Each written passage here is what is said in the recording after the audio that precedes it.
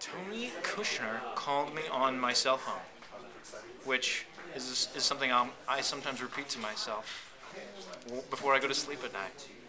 And he called me, and I was like, hello? And he said, hi, this is Tony Kushner. And I was like, no, it's not.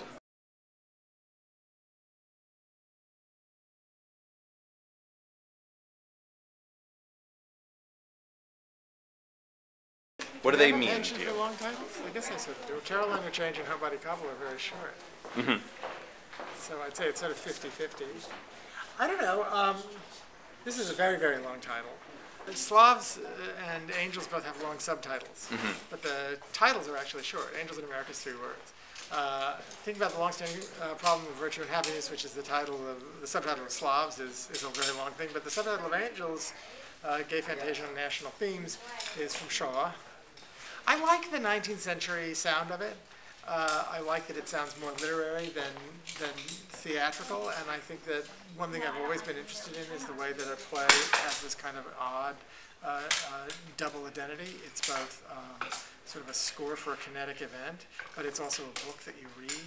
I mean, uh, many, many, many thousands, hundreds of thousands of people have read Angels as a book, and uh, and I and I love it that it's a text, and you know our relationship to literature.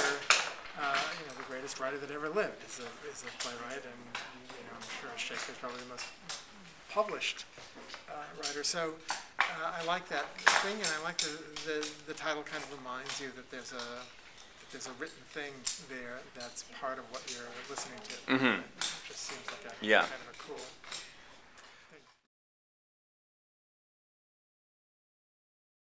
I actually called Tony's agent. I, I was being very respectful and I didn't actually call Tony. I called his agent, Joyce Ketay, who I know quite well, and I said, I hope you'll keep me in mind for that season at, at the signature. Mm-hmm. She said, Yes, I will, and I actually have something else I'd like you and Tony to talk about. And I said, That's great. And soon after that, Tony actually called about this new play that he was writing for the Guthrie, this play and asked me if I would be interested in directing this play at the Guthrie. And I, of course, said yes, I would be interested in directing anything you ever write. And uh, that process began in that way. And then uh, after we did this play at the Guthrie, I got a call from Jim Houghton. And Jim said, Tony and I would like you to be a part of this season at the Signature. And I thought, oh, that's great. Uh, and then he said, we'd like you to do a revival of Angels in America. And I was honestly completely uh, floored and unprepared and had no notion that they were doing that play at the signature. And I, of course, said, yes, then I get to do two plays at the signature. And then as this schedule worked at it, and this became a co-production between the public and the signature and part of this Tony Kushner season, I'm happy to be an Yeah. ongoing part of it. Absolutely. And he called me, and I was like, hello? And he said, hi, this is Tony Kushner. And I was like, no, it's not. Who is this? And he was like, was Tony Kushner. And I was like, very funny. Like, he didn't let me Oh no. believe that it was him. So after a few minutes, I finally stopped heckling him, and he said, I've written this play, and I, I've been thinking about you um, to play Vito, the sort of youngest son in it. And I was like, done. I'm doing it. And he was like, well, no, you haven't read it. And I was like, I don't care. Did you write it? And he said, yes. I said, I'm doing it. So, um, yeah, you know, when Tony Kushner calls, You answer. he says, jump, you say how high.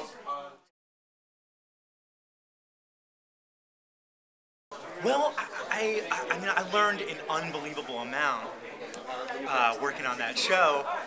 I'd never done a musical before, Uh-huh. and um, I think that, um, and so I was very nervous uh, when I began work on it, and working with uh, Michael Mayer and, and, and Steven Hoggett and, and everyone in the company just like encourage kind of fearlessness and, and um, working on that music and with the encouragement of like Billie Joe Armstrong and the support of those guys. Um, I found that I could express myself in ways that I didn't know I necessarily could before, and that maybe I didn't have to be as afraid as um, I'd been. Um, so I, learned a lot, and I certainly learned a lot about the demands of uh, uh, doing music. Yeah. Is this something you'd like to continue to do? Sure. Yeah. Yeah. Yeah, depending on the thing, you know, that was a very particular, very, very, very special show. Um, but yeah, I, I'd certainly, I think about it, I consider it. Yeah.